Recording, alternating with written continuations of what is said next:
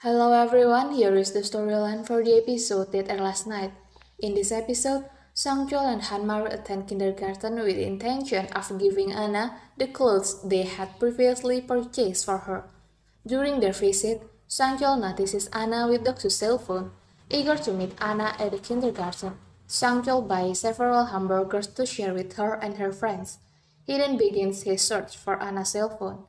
His quest leads him to a cell phone repair shop, where he learns that the repair process will take several days. Meanwhile, Johan records a conversation between Sarah and Director Yeo. Director Yeo, refusing to be truthful, is closely monitored by Secretary Jang and is unable to go anywhere until she confesses. Sarah, unable to stay for long, leaves after learning from Sangcheol about Doksu's cell phone. They arrange a meeting at Bobejang, where coincidentally Jihoon is also present. Sangcheol overhears a conversation between Seran and Jihoon and learns that Jihoon is the true killer of Songyi. Outraged, Sangcheol confronts Jihoon, calling him an animal rather than a human. Despite his anger towards Jihoon for killing Songyi, I believe that Sangcheol will ultimately only blackmail Jihoon for his crime. Therefore, I won't dwell on uh, the exact words Sangcheol used during his confrontation with Jihoon.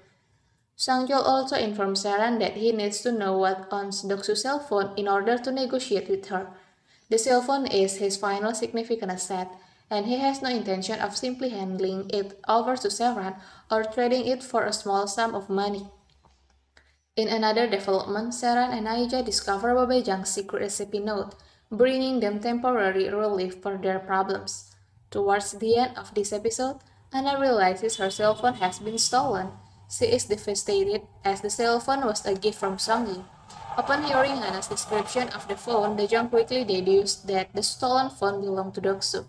Okay everyone, that's the storyline for this time and thank you for watching my video.